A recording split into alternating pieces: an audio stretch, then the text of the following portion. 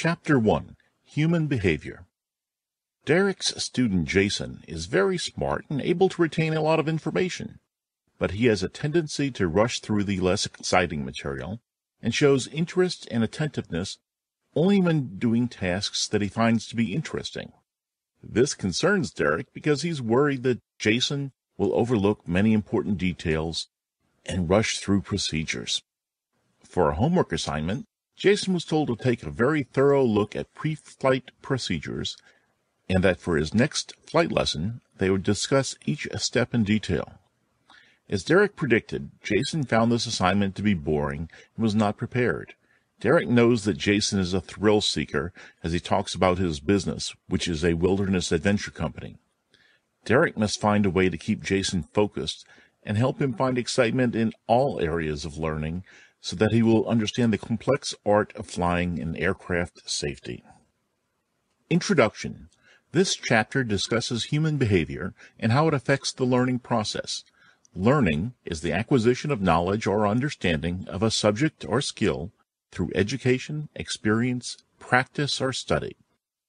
A change of behavior results from learning. To successfully bring about learning, the instructor must know why people act the way they do, how people learn, and then use this understanding to teach. The study of applied educational psychology underlies the information and theories that are discussed. To be an effective instructor, knowledge of human behavior, basic human needs, the defense mechanisms humans use to prevent learning, as well as how adults learn, is essential for organizing student activities and promoting a productive learning experience for students. Definitions of human behavior. The study of human behavior is an attempt to explain how and why humans function the way they do. A complex topic. Human behavior is a product both of innate human nature and of individual experience and environment. Definitions of human behavior abound, depending on the field of study. In the scientific world, human behavior is seen as the product of factors that cause people to act in predictable ways. For example, speaking in public is very high on the list of fears modern humans have. While no two people react the same to any given fear, fear itself does trigger certain innate biological responses in humans, such as an increase in breathing rate. How a person handles that fear is a product of individual experiences. The person who has never spoken in public may be unable to fulfill the obligation. Another person, knowing his or her job requires public speaking, may choose to take a class on public speaking to learn how to cope with the fear. Human behavior is also defined as the result of attempts to satisfy certain needs. These needs may be simple to understand and easy to identify, such as the need for food and water. They also may be complex, such as the need for respect and acceptance. A working knowledge of human behavior can help an instructor better understand a student it is also helpful to remember that to a large extent, thoughts, feelings, and behavior are shared by all men or women despite seemingly large cultural differences. For example, fear causes humans to either fight or flee. In the public speaking example above, one person may flee by not fulfilling the obligation. The other person may fight by learning techniques to deal with fear. Another definition of human behavior focuses on the typical life course of humans. This approach emphasizes human development or the successive phases of growth in which human behavior is characterized by a distinct set of physical, physiological, and behavioral features. The thoughts, feelings, and behavior of an infant differ radically from those of a teen. Research shows that as an individual matures, his or her mode of action moves from dependency to self-direction. Therefore, the age of the student impacts how the instructor designs the curriculum. Since the average age of a student can vary, the instructor needs to offer a curriculum that addresses the varying student tendency to self-direct. See Figure 1-1. Figure 1-1 caption. The average age of a student pilot is 34, while the average age of a maintenance student is 25. By observing human behavior, An instructor can gain the knowledge needed to better understand him or herself as an instructor, as well as the learning needs of students. Understanding human behavior leads to successful instruction. Personality types. In a continuing quest to figure out why humans do what they do, the mother daughter team of Katharine Cook Briggs and Isabel Briggs Myers pioneered the Myers Briggs Type Indicator MBTI test in 1962. The MBTI was based on Jungian theory, previous research into personality traits, and lengthy personal observations of human behavior by Myers and Briggs.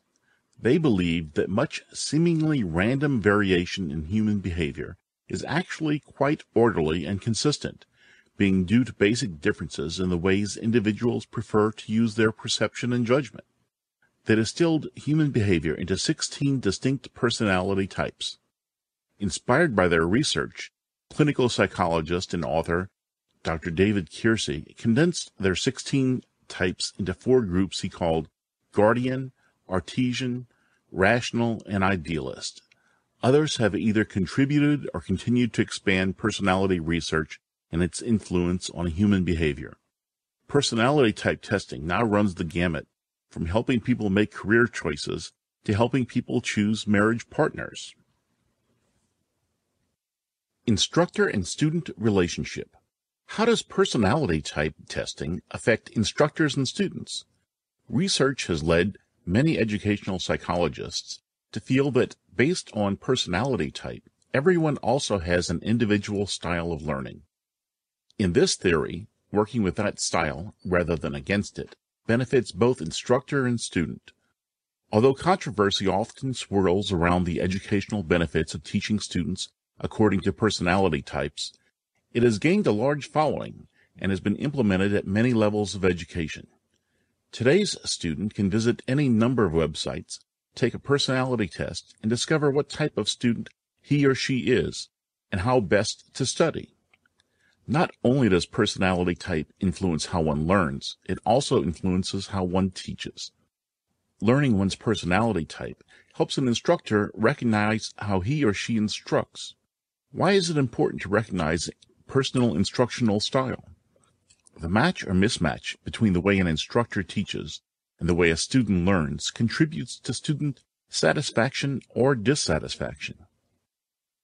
Students whose learning styles are compatible with the teaching styles of an instructor tend to retain information longer, apply it more effectively, learn more, and have a more positive attitude towards the course in general. Although an instructor cannot change his or her preferred style of teaching to match learning style, steps can be taken to actively bridge the differences. Consider Derek's dilemma with Jason. Derek knows he is the type of instructor who provides a clear, precise syllabus and has a tendency to explain the step-by-step procedures. His teaching style relies on traditional techniques, and he often finds himself teaching as he was taught. Observation leads Derek to believe Jason is the type of person who needs the action, excitement, and variation reflected in his career choice. In an effort to focus Jason on the need to learn all aspects of flight, Derek set up a scenario for the day that features how to scout locations for future adventure tours. By adjusting the flight scenario, Derek pushes himself out of his lockstep approach to teaching. He also added an element of variation to the lesson that not only interests Jason, but is one of the reasons he wants to learn to fly. Human needs and motivation. Human needs are things all humans require for normal growth and development. These needs have been studied by psychologists and categorized in a number of ways. Henry A. Murray, one of the founders of personality psychology, who was active in developing a theory of motivation, identified a list of core psychological needs in 1938. He described these needs as being either primary, based on biological needs, such as the need for food, or secondary, generally psychological, such as the need for independence. Murray believed the interplay of these needs produced distinct personality types and are internal influences on behavior. Murray's research underpins the work of psychologist Abraham Maslow. who also studied human needs, motivation, and personality. While working with monkeys during his early years of research, he noticed that some needs take precedence over others. For example, thirst is relieved before hunger because the need for water is stronger need than the need for food. In 1954, Maslow published what has become known as Maslow's hierarchy of needs, which remains valid today for understanding human motivation. See figure 1.2. According to Maslow, human needs go beyond the obvious physical needs of food and shelter to include psychological needs, safety and security, love and belongingness, self-esteem and self-actualization to achieve one's goals. Human needs are satisfied in order of importance. Once a need is satisfied, humans work to satisfy the next level of need. Need satisfaction is an ongoing behavior that determines everyday actions. Human needs that must be met to encourage learning. Physiological. These are biological needs. They consist of the need for air, food, water, and maintenance of the human body. If a student is unwell, then little else matters. Unless the biological needs are met, a person cannot concentrate fully on learning, self-expression, or any other tasks. Instructors should monitor their students to make sure that their basic physical needs have been met. A hungry or tired student may not be able to perform as expected. Security. Once the physiological needs are met, the need for security becomes active. All humans have a need to feel safe. Security needs are about keeping oneself from harm. If a student does not feel safe, he or she cannot concentrate on learning. The aviation instructor who stresses flight safety during training mitigates feelings of insecurity. Belonging. When individuals are physically comfortable and do not feel threatened, they seek to satisfy their social needs of belonging. Maslow states that people seek to overcome feelings of loneliness and alienation. This involves both giving and receiving love, affection, and sense of belonging. For example, aviation students are usually out of their normal surroundings during training, and their need for association and belonging is more pronounced. Instructors should make every effort to help new students feel at ease and to reinforce their decision to pursue a career or hobby in aviation. Esteem. When the first three classes of needs are satisfied, the need for esteem can become dominant. Humans have a need for a stable, firmly based, high level of self-respect and respect from others. Esteem is about feeling good about oneself. Humans get esteem in two ways, internally or externally. Internally, a person judges himself or herself worthy by personally defined standards. High esteem results in self-confidence, independence, achievement, competence, and knowledge. Most people, however, seek external esteem through social approval and esteem from others, judging themselves by what others think of them. External self-esteem relates to one's reputation, such as status, recognition, appreciation, and respect of associates. When esteem needs are satisfied, a person feels self-confident and valuable as a person in the world. When these needs are frustrated, the person feels inferior, weak, helpless, and worthless. Esteem needs not only to have a strong influence on the instructor-student relationship, but also may be the main reason for a student's interest in aviation training. Cognitive and aesthetic. In later years, Maslow added cognitive, need to know and understand, and aesthetic, the emotional need of the artist, needs to the pyramid. He realized humans have a deep need to understand what is going on around them. If a person understands what is going on, he or she can either control the situation or make informed choices about what steps might need to be taken next. The brain even reinforces this need by giving humans a rush of dopamine whenever something is learned, which accounts for that satisfying eureka moment. For example, a flight student usually experiences a major eureka moment upon completing the first solo flight. Aesthetic needs connect directly with human emotions, which makes it a more subtle factor in the domain of persuasion. When someone likes another person, a house, a painting, or a song, the reasons are not examined. He or she simply likes it. This need can factor into the student-instructor relationship. If an instructor does not like a student, that subtle feeling may affect the instructor's ability to teach that student. Self-actualization. When all of the foregoing needs are satisfied, then and only then are the needs for self-actualization activated. Maslow described self-actualization as a person's need to be and do that which the person was born to do. To paraphrase an old army recruiting slogan, self-actualization is to be all you can be.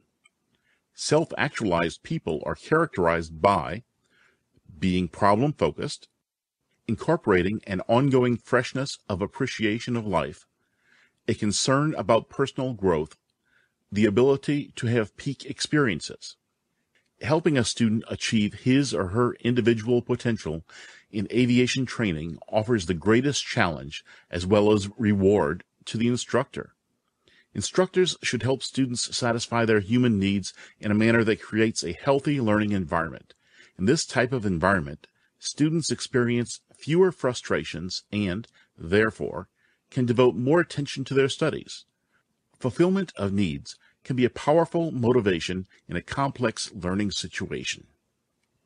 Human nature and motivation. Human nature refers to the general psychological characteristics, feelings, and behavioral traits shared by all humans.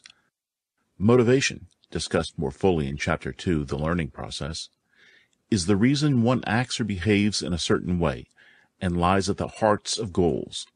A goal is the object of a person's efforts. Consider Jason, who came to aviation because he wanted to participate more actively in another realm of his business. Derek needs to capitalize on this motivation to keep Jason interested in the step-by-step procedures that must be learned in order to fly safely. There's a gap between Jason and his goal of earning a pilot certificate. It is Derek's job to close the gap. The successful instructor channels student motivation and guides the student toward the goal of learning aviation skills through education, experience, practice, and study. Building on Maslow's hierarchy of needs, social psychologist Douglas McGregor set out two opposing assumptions about human nature and motivation in 1960. See figure 1-3. Although McGregor's famous XY theory was designed for use in human resource management, it offers information about how people view human behavior at work and organizational life, which makes it useful for aviation instructors. Theory X assumes that it is management's role to coerce and control employees because people need control and direction. Managers who think in Theory X terms believe people have an inherent dislike for work, avoid it whenever possible, and must be coerced, controlled, directed, or threatened with punishment in order to get them to achieve the objectives. McGregor believed these assumptions were false, and that the role of managers or instructors is to develop the potential in employees, students, and to help them release that potential toward common goals. This view of humans he termed Theory Y, and holds that work is as natural as play and rest. The average person does not inherently dislike work. Depending on conditions, work may be a source of satisfaction, and, if so, it is performed voluntarily. On the other hand, when work is a form of punishment, it is avoided if possible. People exercise self-direction if they are committed to the goals. They are not lazy. Commitment to goals relates directly to the rewards associated with their achievement. People learn to accept and seek responsibility.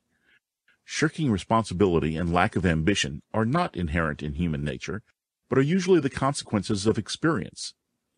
Creativity, ingenuity, and imagination are widely distributed among the population.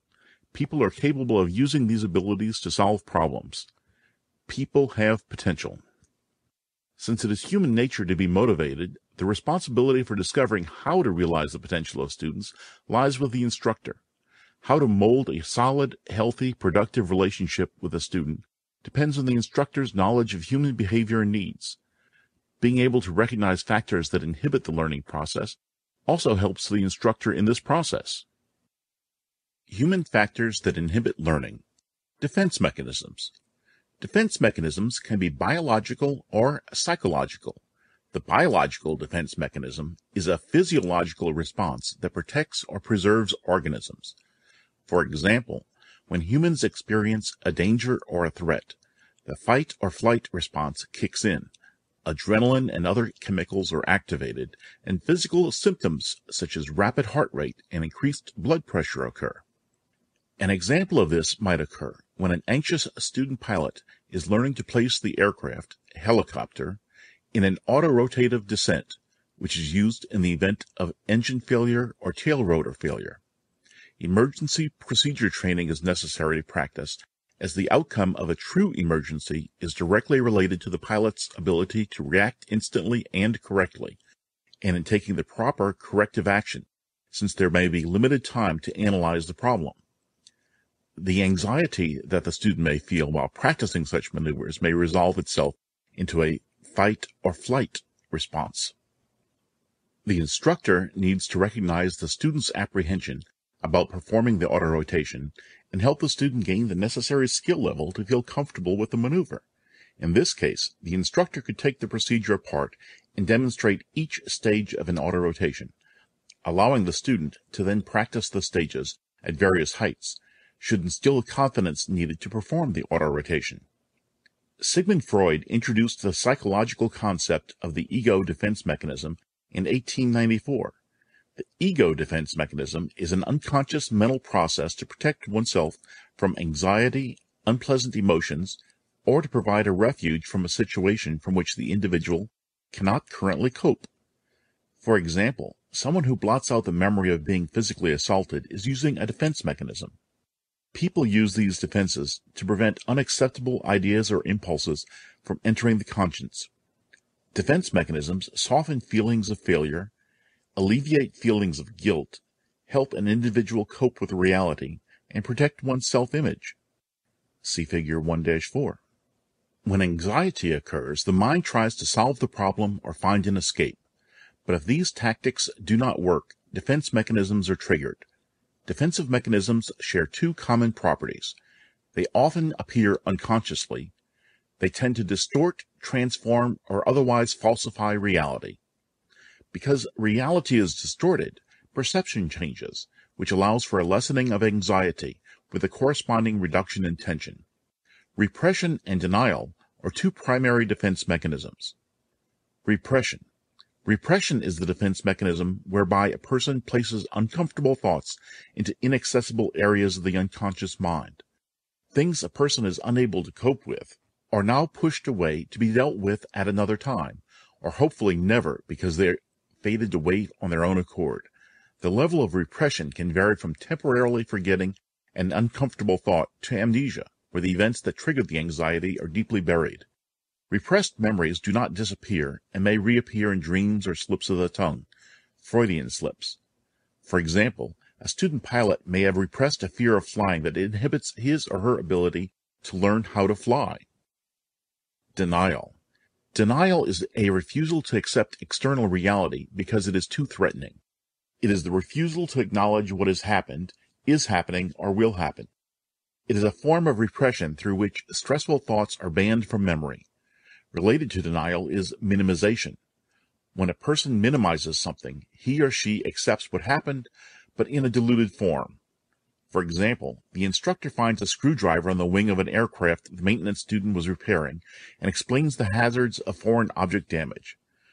The student, unwilling to accept the reality that his or her inattention could have caused an aircraft accident, denies having been in a hurry the previous day. Or, the student minimizes the incident, accepting he or she left the tool with pointing out that nothing bad happened as a result of the action.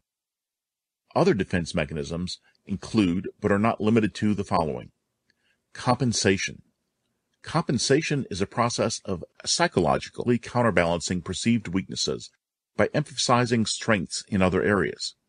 Through compensation, students often attempt to disguise the presence of a weak or undesirable quality by emphasizing a more positive one. The I'm not a fighter, I'm a lover philosophy can be an example of compensation.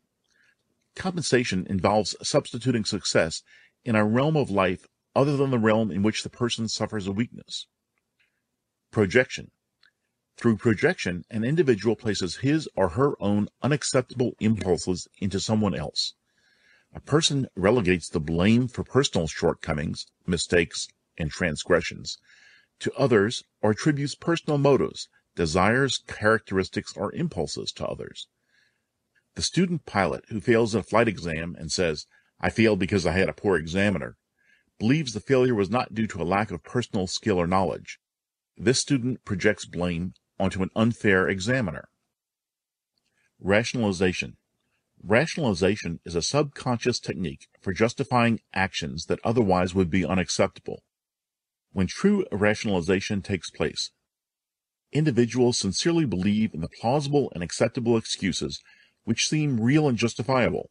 For example, a student mechanic performs poorly on a test. He or she may justify the poor grade by claiming there is not enough time to learn the required information.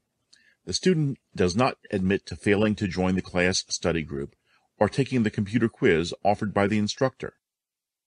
Reaction formation.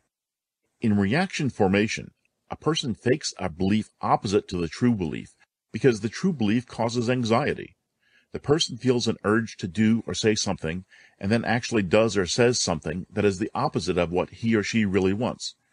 For example, a student may develop a who cares how other people feel attitude to cover up for feelings of loneliness and a hunger for acceptance. Fantasy. Fantasy occurs when a student engages in daydreams about how things should be rather than doing anything about how things are. The student uses his or her imagination to escape from reality into a fictitious world, a world of success or pleasure. This provides a simple and satisfying escape from problems. But if a student gets sufficient satisfaction from daydreaming, he or she may stop trying to achieve goals altogether. Perhaps the transitioning pilot is having trouble mastering a more complex aircraft, which jeopardizes his or her dream of becoming an airline pilot. It becomes easier to daydream about the career than to achieve the certification. Lost in the fantasy, the student spends more time dreaming about being a successful airline pilot than working towards the goal. When carried to extremes, the worlds of fantasy and reality can become so confused that the dreamer cannot distinguish one from the other. Displacement. This defense mechanism results in an unconscious shift of emotion, affect, or desire from the original object to a more acceptable, less threatening substitute. Displacement avoids the risk associated with feeling unpleasant emotions and puts them somewhere other than where they belong. For example, the avionics student is angry with the instructor over a grade received, but fears displaying the anger could cause the instructor to lower the grade. The student might choose to express the anger, but redirects it towards another, safer person, such as a spouse. Maybe the student yells at the spouse, but the student knows the spouse either forgives the anger or ignores it. The student is allowed to express anger without risking failure in a class. Psychology textbooks or online references offer more in-depth information about defense mechanisms. While most defense mechanisms fall within the realm of normal behavior and serve a useful purpose, in some cases they may be associated with mental health problems. Defense mechanisms involve some degree of self-deception and distortion of reality. Thus, they alleviate the symptoms, not the causes, and do not solve problems. Moreover, because defense mechanisms operate on an unconscious level, they are not subject to normal conscious checks and balances. Once an individual realizes there is a conscious reliance on one of these devices, behavior ceases to be an unconscious adjustment mechanism and becomes, instead, an ineffective way of satisfying a need. It may be difficult for an instructor to identify excessive reliance on defense mechanisms by a student, but a personal crisis or other stressful event is usually the cause. For example, a death in the family, a divorce, or even a failing grade on an important test may trigger harmful defensive reactions. Physical symptoms, such as a change in personality, angry outbursts, depression, or a general lack of interest, may point to a problem. Drug or alcohol abuse also may become apparent. Less obvious indications may include social withdrawal, preoccupation with certain ideas, or an inability to concentrate. An instructor needs to be familiar with typical defense mechanisms and have some knowledge of related behavioral problems. A perceptive instructor can help by using common sense and discussing the problem with the student. The main objective should be to restore motivation and self-confidence. It should be noted that the human psyche is fragile and could be damaged by inept measures. Therefore, in severe cases involving the possibility of deep psychological problems, timely and skillful help is needed. In this event, the instructor should recommend that the student use the services of a professional counselor. Student emotional reactions. While it is not necessary for a flight instructor to be a certified psychologist, it is helpful to learn how to analyze student behavior before and during each flight lesson. This ability helps a flight instructor develop and use appropriate techniques for instruction. Anxiety. Anxiety is probably the most significant psychological factor affecting flight instruction. This is true because flying is a potentially threatening experience for those who are not accustomed to flying, and the fear of falling is universal in human beings. Anxiety also is a factor in maintenance training because lives may depend on consistently doing the job right the first time.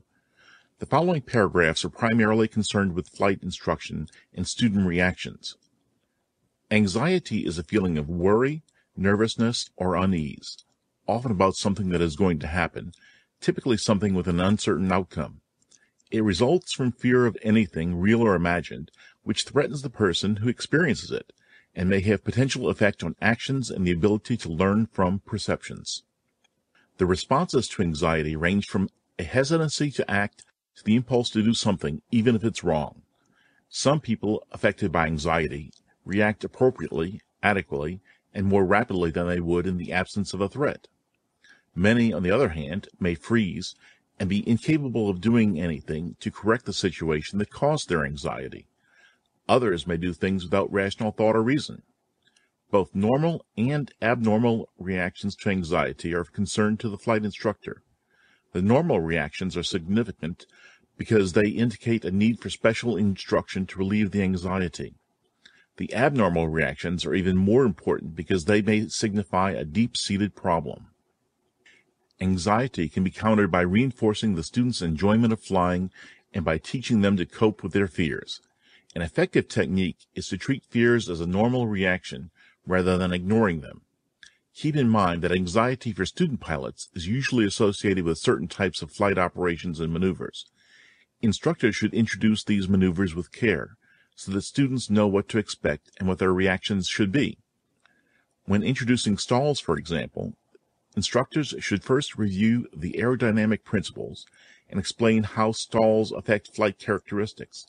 Then, carefully, describe the physical sensation to be expected as well as the recovery procedures. Student anxiety can be minimized throughout training by emphasizing the benefits and pleasurable experiences that can be derived from flying, rather than by continuously citing the unhappy consequences of faulty performances.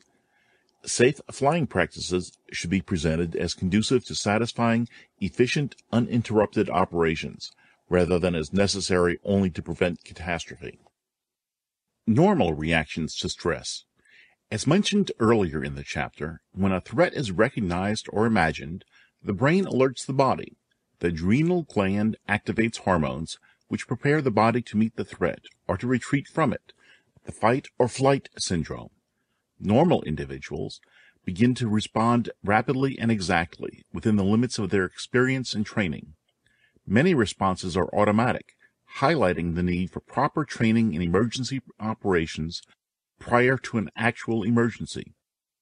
The affected individual thinks rationally, acts rapidly, and is extremely sensitive to all aspects of the surroundings abnormal reactions to stress. Reactions to stress may produce abnormal reactions in some people. With them, response to anxiety or stress may be completely absent or at least inadequate. Their responses may be random or illogical, or they may do more than is called for by the situation. During flight training, instructors are normally the only ones who can observe students when they are under pressure. Instructors, therefore, are in a position to differentiate between safe and unsafe piloting actions.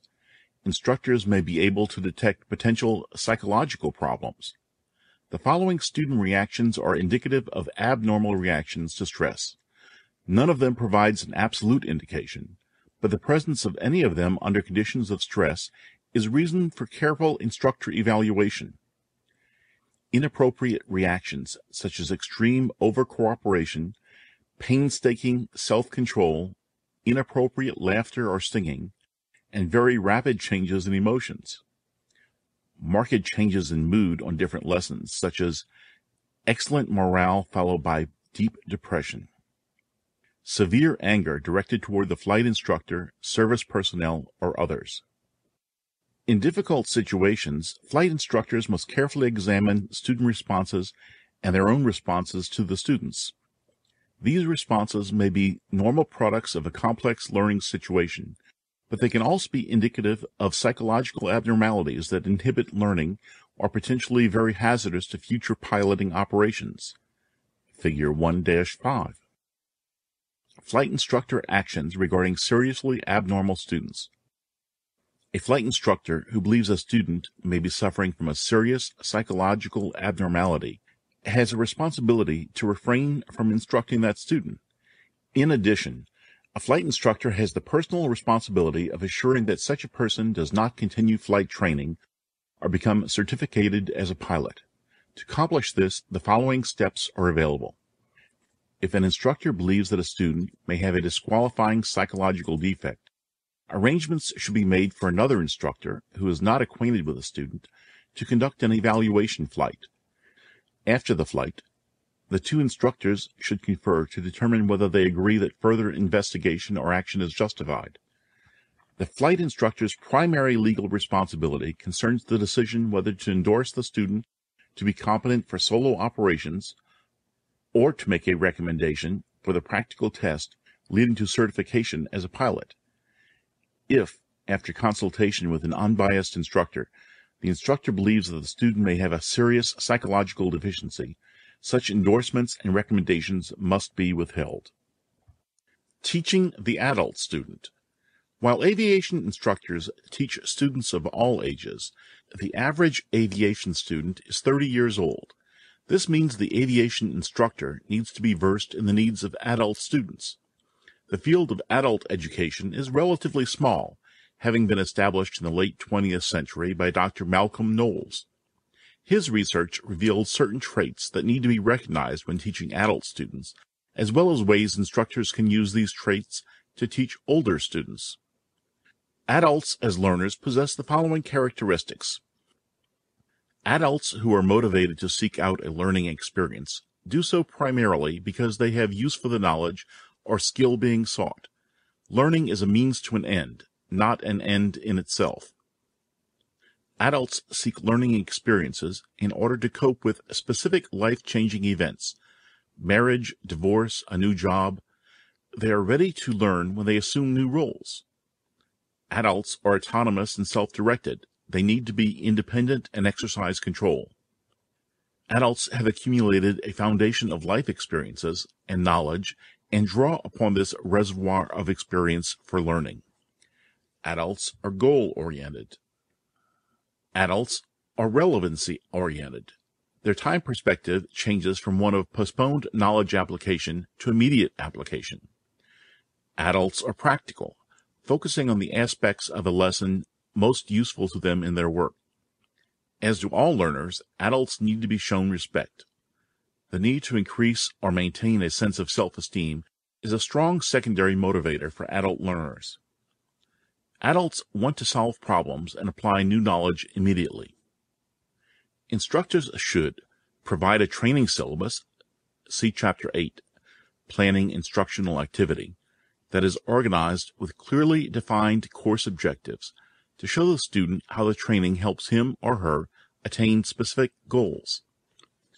Help students integrate new ideas with what they already know to ensure they keep and use the new information assume responsibility only for his or her own expectations, not for those of students. It is important to clarify and articulate all student expectations early on. Recognize the student's need to control pace and start slash stop time. Take advantage of the adult preference to self-direct and self-design learning projects by giving the student frequent scenario-based training, SBT, opportunities. Remember that self-direction does not mean isolation. Studies of self-directed learning indicate self-directed projects involve other people as resources, guides, etc. Use books, programmed instruction, and computers, which are popular with adult learners. Refrain from spoon-feeding the student. Set a cooperative learning climate. Create opportunities for mutual planning. An aviation student may be the retired business executive who always wanted to learn how to fly, an Army helicopter pilot who wants to learn how to fly an airplane, or a former automobile mechanic who decides to pursue avionics. These students may be financially stressed or they may be financially secure. They may be healthy, but they may be experiencing such age-related problems as diminished hearing or eyesight. Whatever the personal circumstances of the student, he or she wants the learning experience to be problem-oriented, personalized, and the instructor to be accepting of the student's need for self-direction and personal responsibility.